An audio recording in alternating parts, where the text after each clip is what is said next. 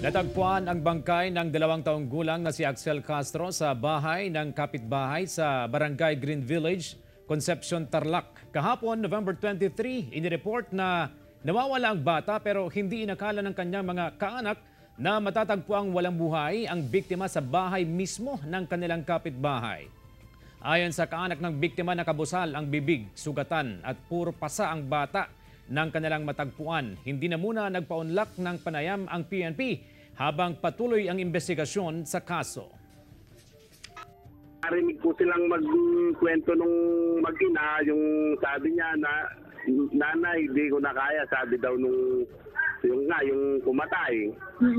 Ay bigla narinig po ng kapatid kong lalaking isa, bigla po pumasok sa bahay, tapos nakita sa kwarto, nakandusay na po yung bata.